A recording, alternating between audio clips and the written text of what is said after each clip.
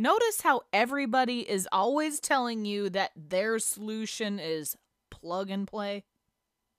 And of course, as engineers, we know that most of them really aren't.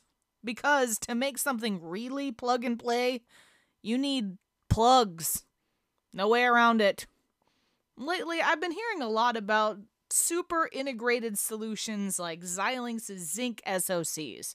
These devices are super cool, flexible, powerful, they can do almost anything. But you still need plugs and connectors to hook them up to the outside world. Otherwise, you know, it's just a chip sitting there on a table. Hey, what's going on in there? Yeah, can't tell. Hi, I'm Amelia Dalton, host of Chalk Talk. Today, my guest is Mark Bell from TE. Yep, the folks who specialize in plugging and connecting our projects together.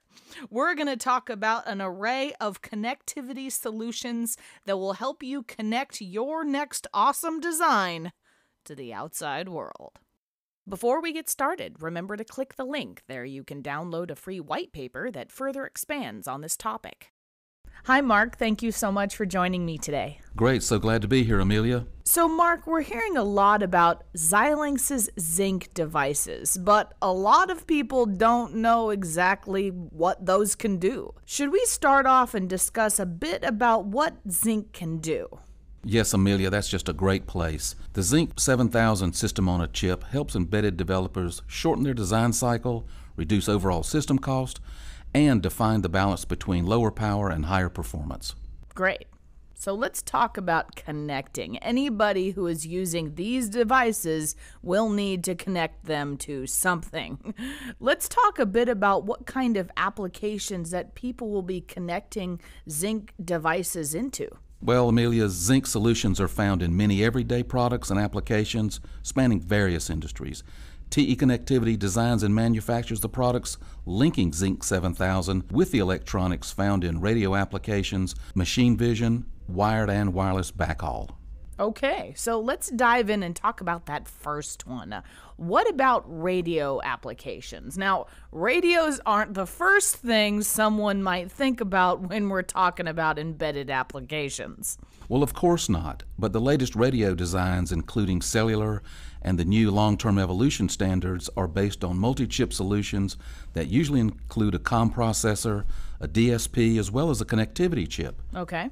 Zynq simplifies that approach by allowing a three chip in one migration, and TE offers a complete portfolio of standard antennas that complement the Zynq based radio design. Okay, so it's great that we get three chips in one, but I'm still going to have to connect to the outside world, right, Mark? It seems like some of those really pose some serious challenges for connectivity, particularly that antenna part. Well, yes, it does, but TE offers a complete portfolio of standard antennas that complement the Zynq based radio design. We see the market needs a wide range of standard antennas for the popular bands.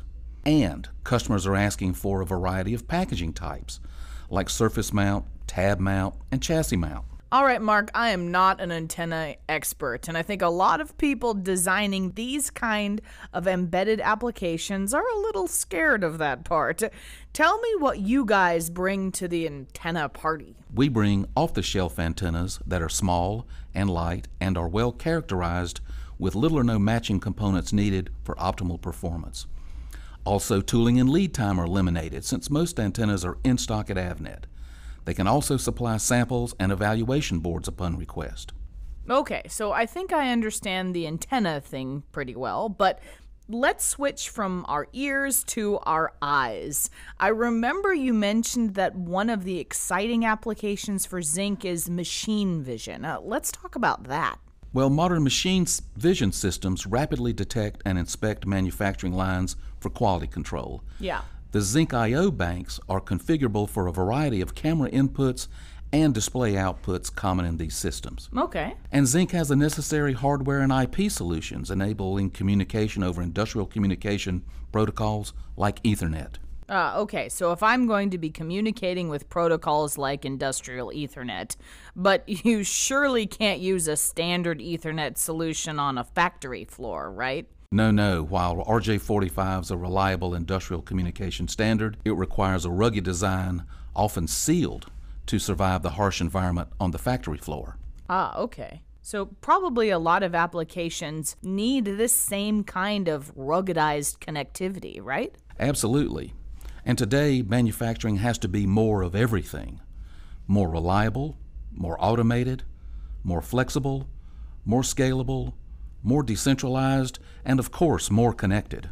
Also, embedding intelligence across the factory floor and the migration of the information technologies and applications to the field requires a secure and predictable transport of signal, data, and power.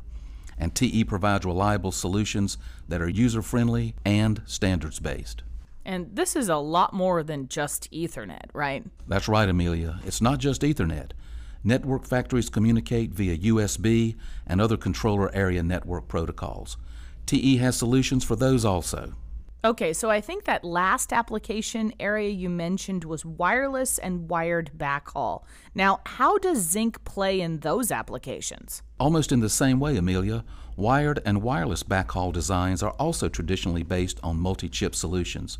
The application traditionally includes a host CPU, a network processor, a timing management solution, and a network MAC. Zynq's configurability and integrated options concentrate the design into a single chip.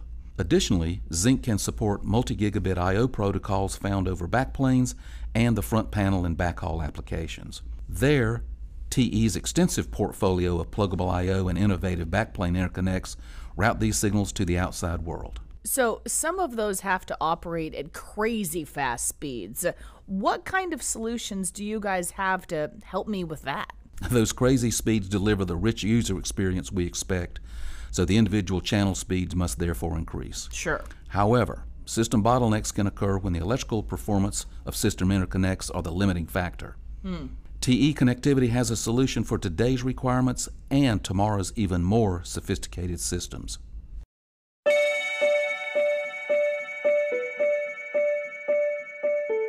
So as people start wanting to have more information at their fingertips, you know, while they're traveling around, they want to be able to access movies or football games or watch YouTube videos. They really need to be able to have all that information streaming to them wirelessly. They need to be able to have that information quickly. Really with that requires a lot of infrastructure updates through the data centers. Data rates have to get faster you know, power has to stay at the same levels or get lower. So as all of our customers are working on their system designs, they focus on the backplane. It really is the secret sauce that makes them different than their competition.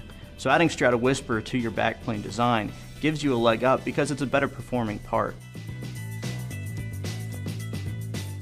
25 gigs a unique data rate. As you're doing system design at 25 gig, these chips are still trying to send signal to each other. But now the printed circuit board, the traces inside of that, they're too lossy. You can't get the signal from one chip to another.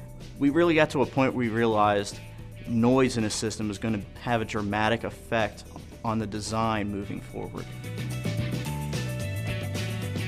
STRADA Whisper changes a lot of aspects of our customers' designs. And what makes it so great for them is one, the, the signal integrity is excellent. And second, the mechanical robustness of it allows for our customers to do a lot more things than what they used to before. One aspect of the design that's very unique is most connector designs have the pairs stacked on top of each other vertically. Whisper, we took an innovative approach in rotating the, the pair 90 degrees so that they stack horizontally on top of each other. This gives a lot of advantage because now we're removing the skew out of the design. Once we realized that we could shield this product so that we would reduce the noise dramatically in it, that was really the moment when we realized we had a new, innovative, and really game-changing product.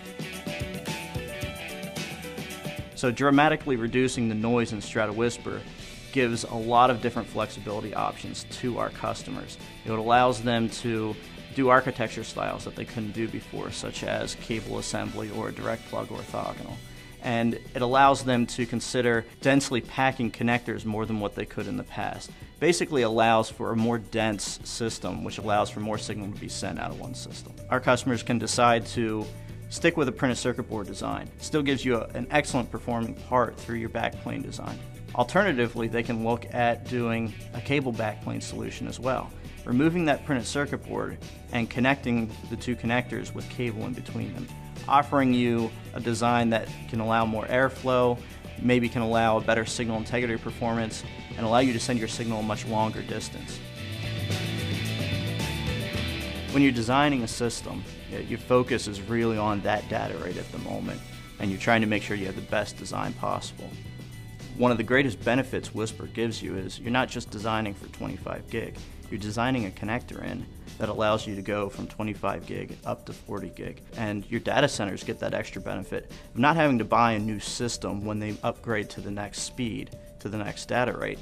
They get the ability to just maybe upgrade some cards instead to go from 10 to 20 to 40 gigabit per second. And so with that design flexibility that STRADA Whisper offers, whether it's reducing power, improving airflow, getting better signal integrity, you know, all of that helps our customers improve the data center.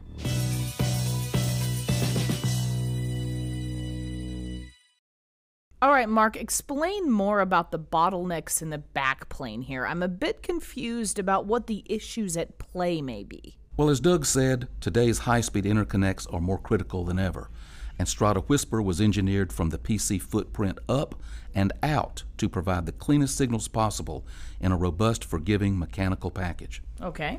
For electrical engineers, TE designed STRADA Whisper to provide a nearly transparent electrical path for high speed differential pairs. And we haven't forgotten the mechanical engineers. Good. They know that holding card cage tolerances to assure alignment and fully seated connectors for signal integrity can be very difficult and very expensive. My mechanical engineers will be happy to hear that. Okay, Mark, what about tomorrow? How is this going to evolve as my system evolves? TE has that covered too, with solutions for nearly any architecture and supporting 100 ohm as well as 85 ohm systems. Now, our engineers have deep and broad experience, plus the advanced simulation tools required that assure your project moves from concept to deployment in the shortest time and will perform as you intended. Excellent. So, one of the things I know about the future is that I'm going to need a lot of data moving through the backplane. Oh, yeah, that bandwidth through the backplane and the line cards requires fat pipes for input and output to deliver ultimate system performance. Sure.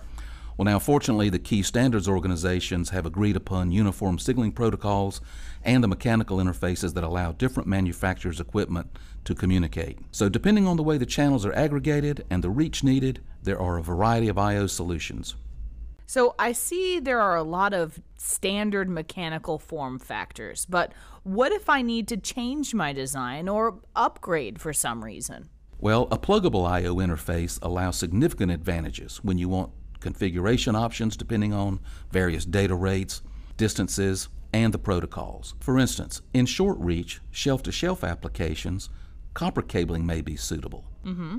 In the longer reach rack to rack applications, copper insertion losses may require optical interconnects. Also, a standardized pluggable I/O interface allows options for fiber versus copper links, plus accessory options such as light pipes for easy port ID or heat sinks for transceiver thermal management. Lastly, depending on the equipment and the application, the I/O solution could be single port with two channels, or even ganged, or even stacked with multiple channels.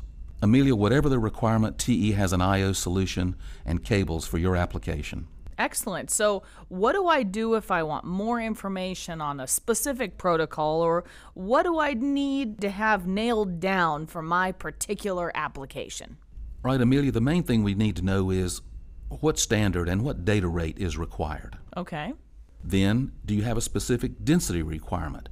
We need to know your height restrictions, your card restrictions, so we can fit the number of ports required to meet those requirements. Makes sense. We need to know if you need light pipes for port identification to tell about port activity or for failure. Mm. We need to know if your transceivers will require thermal dissipation. How many watts will they be dissipating? And that, of course, will depend on the reach and the power of those transceivers. Sure. And lastly, what about your cable requirements? Can you use copper, less expensive but shorter reach? Or will you require optical for longer reach? Excellent. Well, I think that's all I have time for today. Thank you so much for joining me, Mark. It was nice to be here. Thank you. Before we go, don't forget to click that link. There you can download a free white paper that further expands on this topic. For Chalk Talks, I'm Amelia Dalton. For more Chalk Talks, check out the EE Journal YouTube channel or the on demand section of eejournal.com.